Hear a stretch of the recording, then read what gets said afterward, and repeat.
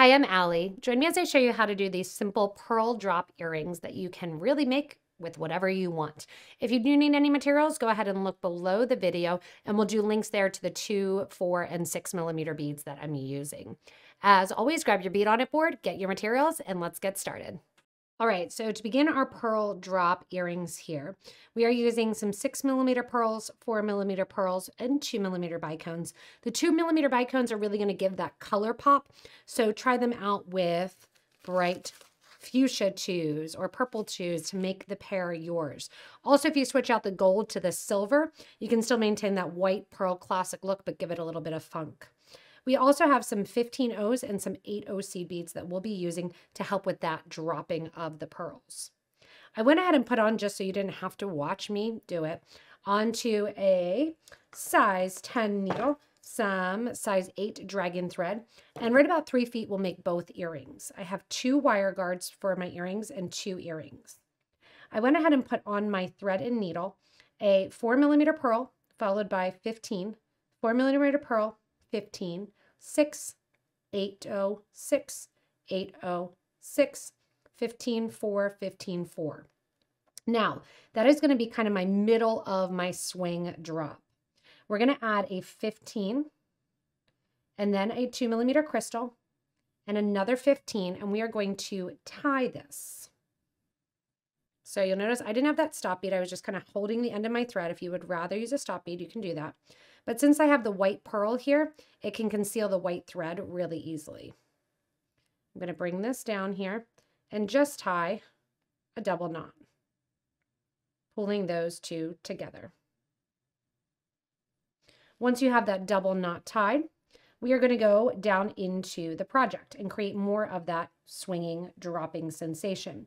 So I'm actually going to do this little bottom drop here, and then we'll come back up the middle, and then we'll scoop around as we kind of add the top here and do the bottom.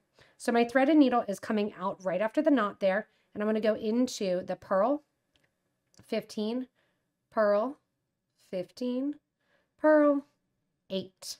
So we want to come out right at the 8O seed bead here. Once you're out at the 8O seed bead, you can really kind of play around with what you want that drop to look like. But I'm going to do two of my 15s followed by one of my eights, followed by a 15 and a crystal. And then you're going to repeat on the other side. 15, 8, two 15s. Skipping over the pearl at the bottom, we're going to go into the 8 O seed bead and then up the whole right side of the project. And that gets us our first little drop. What we're going to do now is bounce to the top here and add our um, top of our earring. So we're going to come out the 15 that sits right next to that 2. Get a little closer for this guy. And I want you to add for your top one and two more 15s along with an 8 a 4 millimeter pearl. They can be a little tricky to find the hole a two millimeter bead, and then we're going to grab our wire guard. When you grab your wire guard, they tend to have an opening or they sit stretched apart like that in the U channel. Some projects, I stretch that out even more. This one, we're going to actually pinch that closed. We're going to go up through that U channel, down through the opposite side, and back through the four millimeter or the two millimeter bead rather, the pearl, and our 8 seed bead. Pull that thread and needle, making sure that your thread sits in that wire guard and that you don't have a lot of extra thread showing. Here on this side now, we're going to add two more 15s and come down the opposite side, going down through the 15 that sits on the opposite side of that two millimeter green on the top. That gets us our top in place here. And now we're going to be able to add more of that dropping motion to it. So our next thing that we're going to do is add our secondary drop, which is going to come out right after that four millimeter pearl here at the top. So take your needle and thread through that first four millimeter on the left-hand side here, or your right if you're right-handed, either way works. and we're going to create the central drop. That central drop here is going to be basically a repeat. So we are going to do two of our 15s, followed by one of our 8s, followed by 15 just to make it a little bit longer, and then one of our 2 millimeter crystals.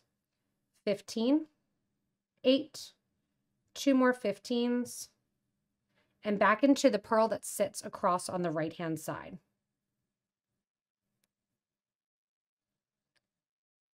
This is our opportunity then to reinforce the top of our piece, going in through that 15 one more time, up through the clasp. I'm going to wiggle our thread and needle through here,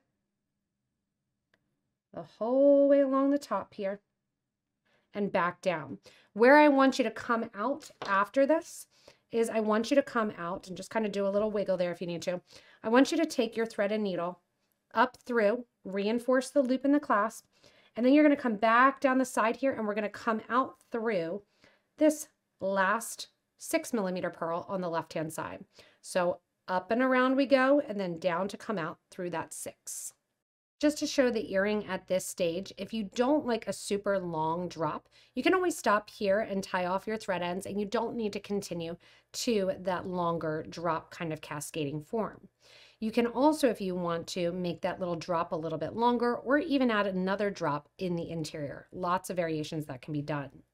Once you're coming out through the bottom of the six millimeter bead here, we're gonna do our final drop. And our final drop is going to consist of one, two, three, and four 15s. And then we're going to increase in size to an 8 followed by a 2 millimeter bead, followed by a 15 pearl. And when I say pearl, this one's the 4 millimeter. Then we do another 15, our 6 millimeter. You can put more color in this too if you want another 15, another 4 millimeter, a 15, our 2 millimeter, our 8 seed bead for that anchor, and then one, two, three, and four more 15s. Once that's in there, and you're dropping that down, you're going to go right over to the opposite side, to the six that sits on the opposite, and go right into that one. We're then just going to sew up, get our thread ends right next to one another, and simply tie off the thread ends right there and burn our thread down. So just going right up through this side here. And the nice thing is you end right next to that knot. These are so simple and so easy. Make sure that if you have any questions or have any ideas, go ahead and post those too in the comments. Love to read those and uh, get ideas of what you guys like. Sometimes these simple projects are the best.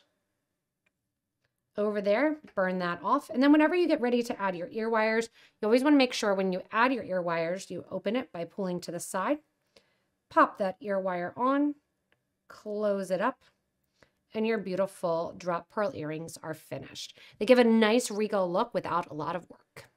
Thanks so much for joining me to create these pearl drop earrings. They really are quite elegant and fun. You could do them in all different beads, gemstones, bigger crystals, and really make lots and lots of pairs to switch out for your huggy earrings. Remember, if you need any supplies, go ahead and look below the video. Don't forget to subscribe and stay tuned for more inspirational designs. Thanks, guys.